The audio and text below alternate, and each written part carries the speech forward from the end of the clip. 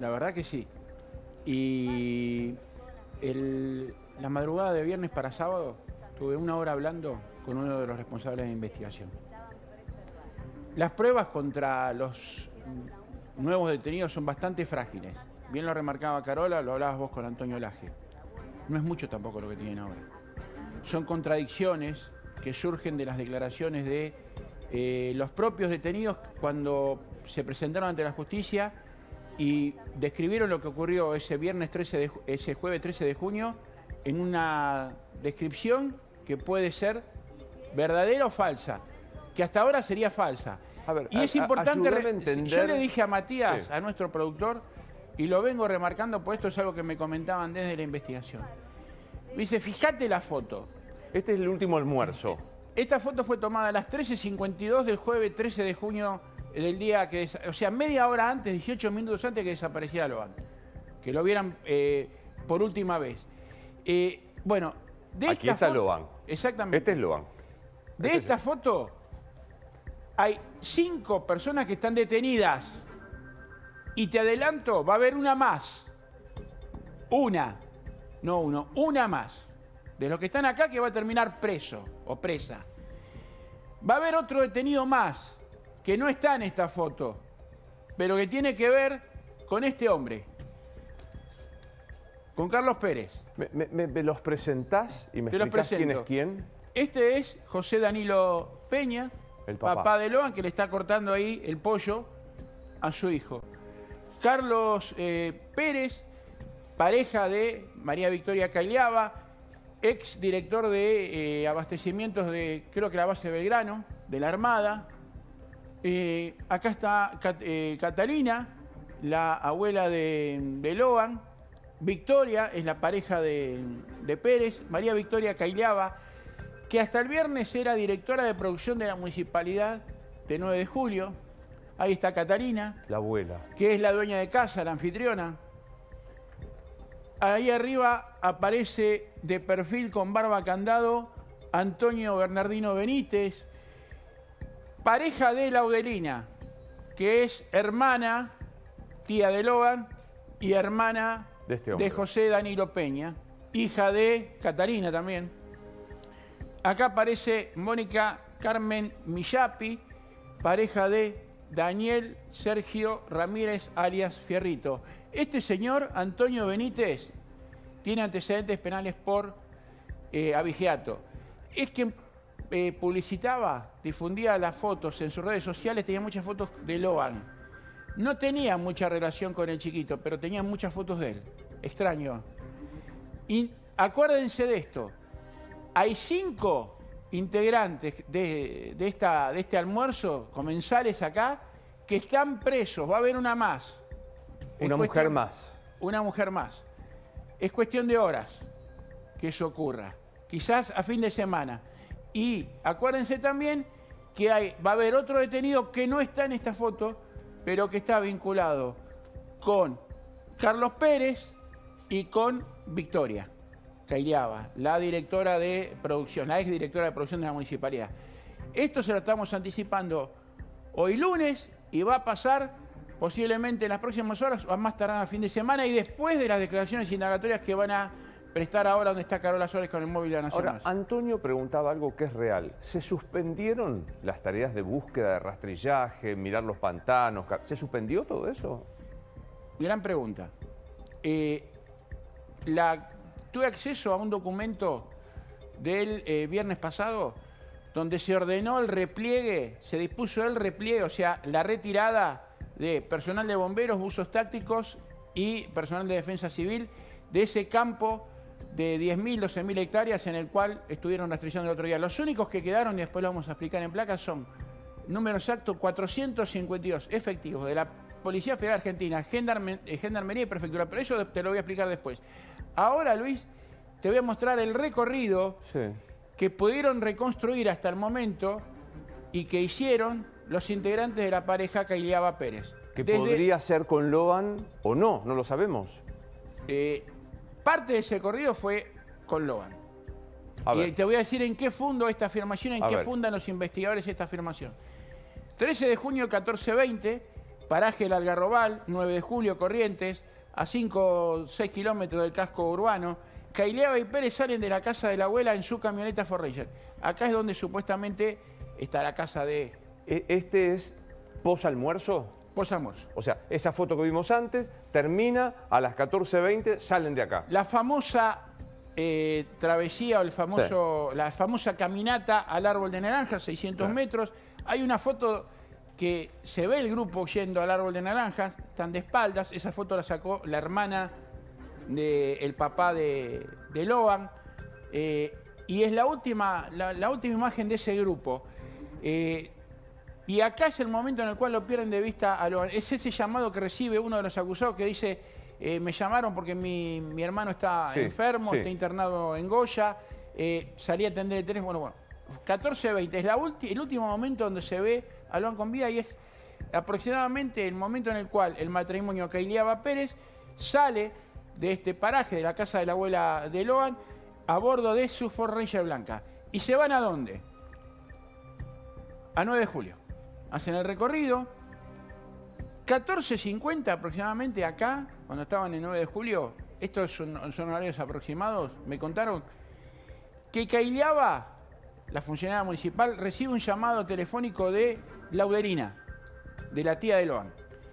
Y en ese esto está declarado por Caileaba en el expediente cuando se presentó y describió lo que ocurrió ese eh, jueves 13 de junio como testigo. Dice que recibió un llamado, 14.50, de Laudelina y le decía, el chiquito sigue perdido. Y Caileaba, esto fue considerado una actitud sospechosa por los fiscales, le responde como abriendo el paraguas, dice, mirá que mi marido es de ciudad, se crió en ciudad, y él siempre tranca las puertas de la camioneta. Como para dar a entender que eh, ellos no lo tenían a Loan, de que Loan no se pudo haber subido a la camioneta porque la camioneta está siempre cerrada, no, no se pudo haber subido para jugar, Sí. y dando por aclarar que ellos no lo tenían a Loan. El tema es que nadie le había preguntado si yo lo Claro. tenía a Loan. Yo tengo, tengo una pregunta para después que, claro, vos... Pero a ver, sigamos con... ¿Sabés qué es lo que a mí me angustia? Sí. Si este chiquito lo secuestraron para llevarlo a, a una red de tratas, de trata, me cuesta creer que pueda ser entregado a otra familia que le suprima la identidad, porque ya tiene cinco años. Claro. Y los lazos personales están absolutamente fijos. O sea, quien, quien convive o quien ha tratado a un chiquito de Bueno, cinco años. se lo ve la foto. El padre cortándole. Pero aparte digo, Gustavo, vos sabés quién es tu papá, quién es tu Sí, mamá. sí. A un bebé es horrible lo que voy a decir. Sí, no, pero a un bebé podés secuestrarlo e insertarlo, mentirle que no es, este, que es hijo de una familia nueva. Pero un chico de cinco años. Por eso eh, te mol- te- me angustia, porque digo, este chiquito en algún momento va a decir, quiero ver a mi mamá, a mi abuela, en Naranjal. Nada, eh, no es una pregunta para vos, pero, pero me- me- la debo hacer.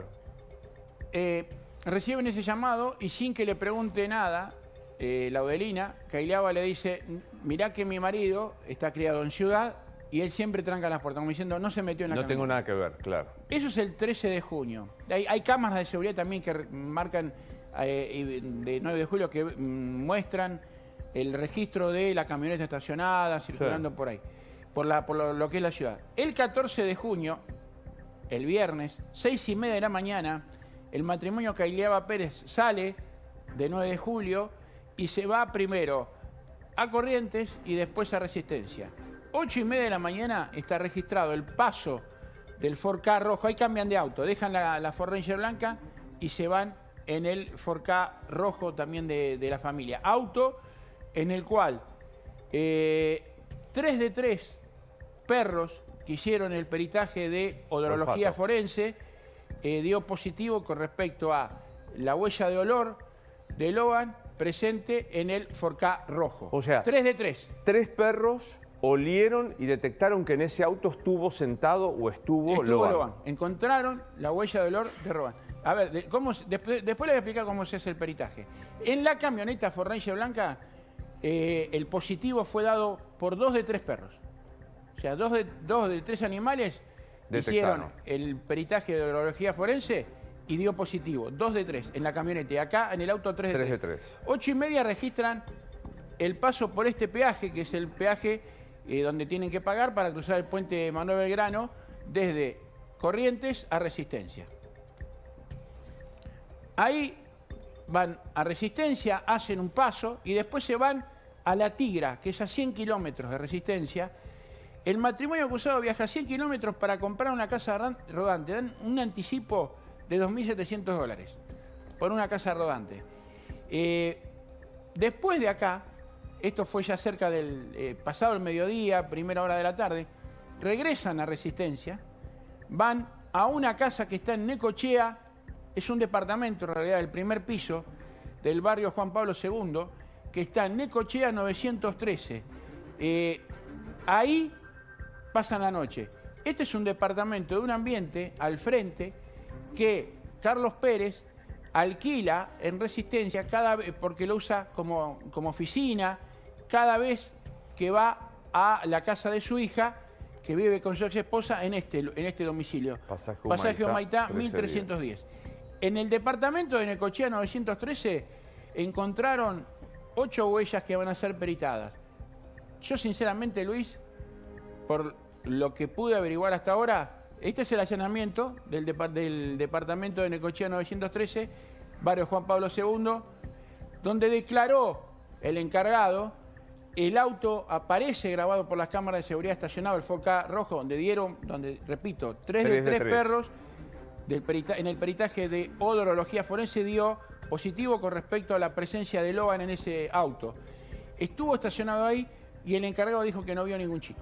Pero ahora encontraron huellas que van a peritar. Van a peritar, hay que ver si son o no. En ese auto, eh, el viernes cuando lo peritaron, encontraron también eh, eh, un peritaje positivo con respecto al reactivo luminol. Reactivo luminol se utiliza para ver si hay sangre o no. Aparentemente habría sido un falso positivo. O sea, el luminol detecta todo lo que es orgánico pero entre el orgánico tenés sangre y tenés otros elementos. Habría sido falso positivo, no sería sangre. Hay dos causas abiertas. Una, la de la justicia provincial, que es la que ordenó las detenciones de los seis sospechosos hasta el momento. Y desde el viernes hay un expediente que se inició en la Fiscalía Federal de Goya, que está a cargo de Mariano de Guzmán. ¿A dónde está trabajando Carola? No, eh, Carola está en la Fiscalía eh, Provincial. Ah. Esto es Fiscalía Federal. Lo que eh, el, expediente no, que habíamos dado el anticipo acá, sí, sí. que lo tiene la Justicia Federal, es el 2157 barra 24, así está, es el número de expediente. La carátula, fíjate cuál es. NN, averiguación de delito. O sea, en la, en la Fiscalía Federal todavía no lo tienen como trata de personas. Se está averiguando si efectivamente alguna de las conductas desarrolladas por los imputados constituye o no un delito de trata.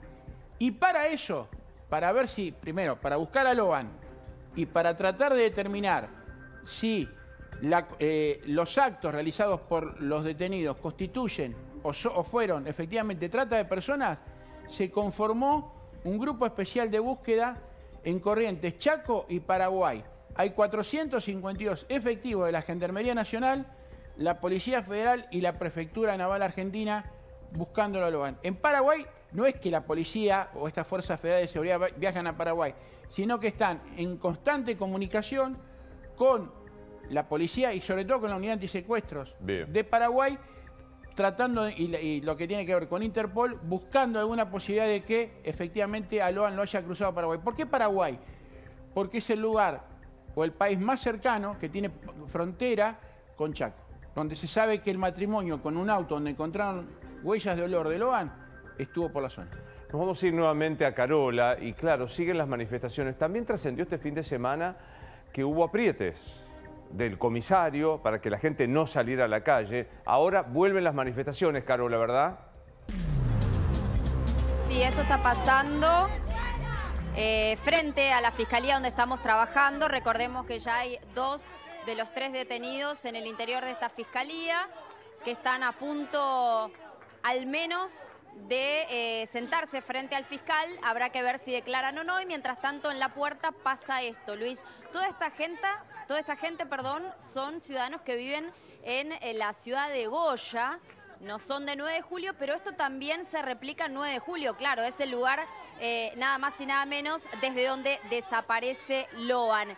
Y por ejemplo, hasta ayer a la noche que estuvimos trabajando en la Plaza Central de 9 de julio, todos los días, o sea, 10 días, durante 10 días, se dieron marchas. Marchas que eh, dan tres vueltas a esa plaza, marcha que está integrada por familiares, de hecho han participado los padres en dos de esas 10 marchas, familiares, amigos, vecinos de todas las edades, gente grande, adolescentes, chiquitos. Y bueno, ahora como claramente la gente de aquí, de la ciudad de Goya, se ha enterado de que los detenidos venían hoy a declarar, han decidido concentrarse aquí, este, aquí en este lugar.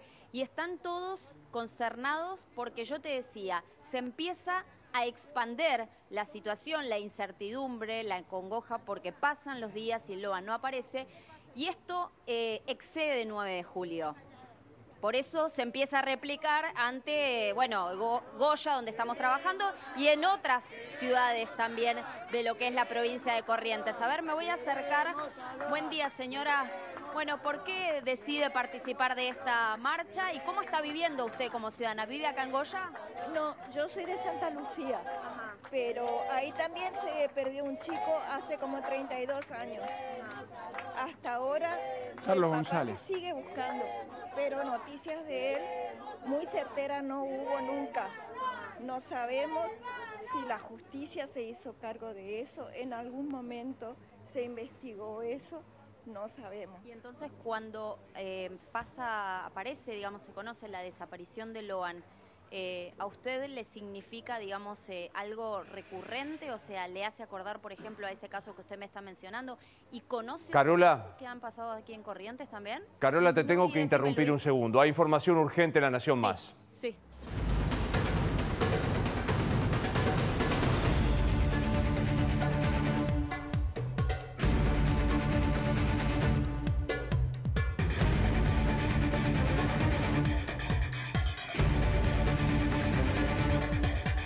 Urgente la Nación Más. La Fiscalía tomará posición procesal en el caso Loban. Gustavo. Sí, imputaría a los tres nuevos detenidos y al resto, posteriormente, los van a citar nuevamente a declarar por presunta trata de personas. O sea, ya le ponen nombre y apellido a la trata. Están, a ver, todo esto surge después de un análisis que hizo el fiscal de las conductas, de la prueba, de ver qué tipo de delito le podían imputar hasta jueves, viernes a la noche era supresión de identidad o sustracción de menores. Pero ahora, con nuevos elementos que hay en la causa, sería trata de personas, la imputación y el cargo que le van a leer eh, ahora cuando le formulen la, acusación y le describan la acusación, por lo cual van a hacer o le van a pedir la prisión preventiva. Pero atención con esto, hay un giro ¿Qué pasa? Trata de personas es jurisdicción federal. Le van a tener que pasar la causa a la justicia, a la Fiscalía Federal, que recién mostramos el expediente que tiene caratulado como 2157-24 NN, averiguación de delito.